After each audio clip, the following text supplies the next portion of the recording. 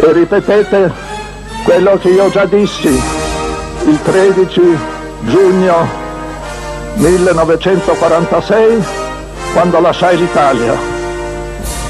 Qualsiasi cosa possa succedere al nostro paese, io sarò sempre il più fedele dei suoi servitori, il più fedele dei suoi figli. Viva l'Italia!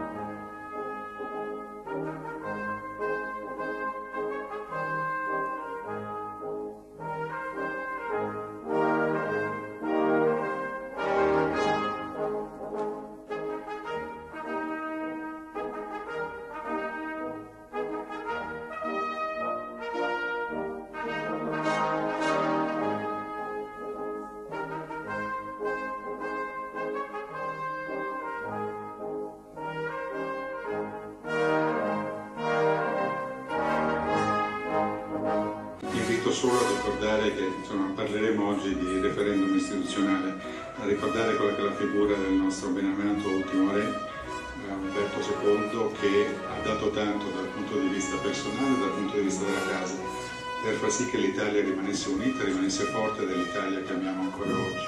Quindi grazie a tutti e auguro un'ottima giornata.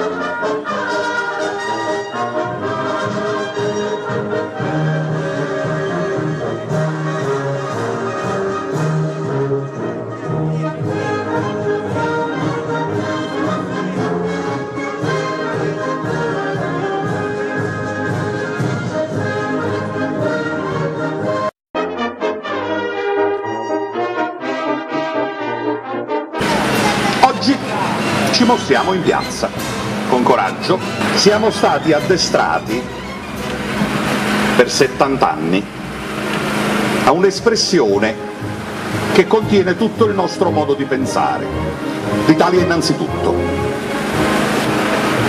Molti di noi hanno servito l'Italia comunque, pur serbando nel cuore il ricordo ed avendo la consapevolezza di una testimonianza che il monarchismo non era finito il 2 giugno del 1946.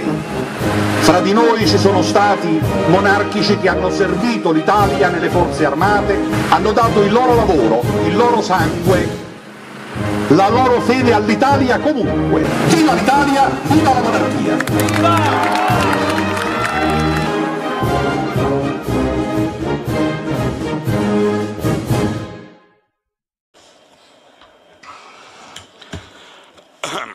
Bisogna lottare, io non mi rassegno. Non voglio più accontentarmi e bisogna trovare il coraggio di dire la parola magica. E la parola magica, illustri e venerati, è costituente. La Repubblica ha bisogno di una fase costituente, che sia l'inizio di un nuovo processo risorgimentale, un nuovo risorgimento che rimetta l'Italia al centro, che riscriva delle regole condivise dopo quasi 80 anni dall'entrata in vigore di una Carta Costituzionale che aveva una sua razio nel 1948, ma io credo che dopo 73 anni un articolo come l'articolo 139, che è una norma assai liberticida, non abbia alcun senso. Il popolo sovrano deve potersi scegliere le istituzioni che lo governano perché se per l'articolo 1 la sovranità appartiene al popolo, deve appartenere sempre, anche se il popolo decide di cambiare la forma istituzionale dello Stato, altrimenti è una finzione. E nella ridiscussione della Carta Costituzionale si potrebbe anche immaginare ed indicare come soluzione e come esempio, guardando l'Europa, di terzietà, la figura di un re come diceva Fabrizio De André, un re senza corona e senza scorta. Altezze reali, dolcissimi principi, voi rappresentate il seme, la speranza, in voi riposa l'ultima speranza di questo disgraziato paese, di riprendersi il suo posto non nel consesso delle nazioni, perché non ne abbiamo bisogno ma di riprendere il suo posto davanti alla storia millenaria di cui siamo stati ispiratori e protagonisti.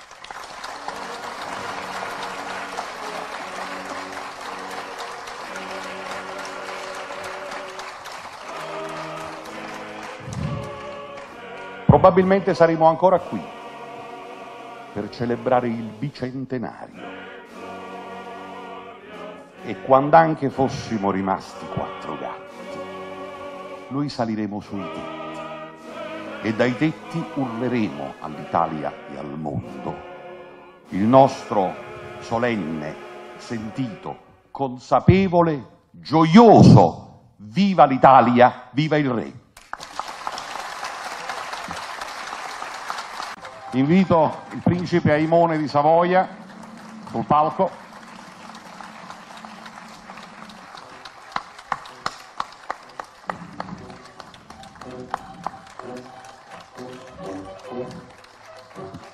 Grazie, grazie a tutti. Semplicemente un, un saluto di, di chiusura.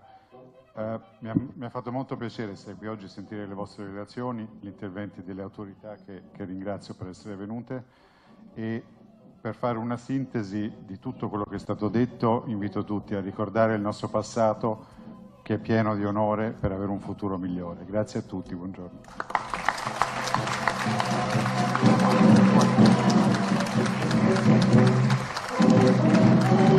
Fa piacere essere con i miei figli. Salutiamo le speranze d'Italia.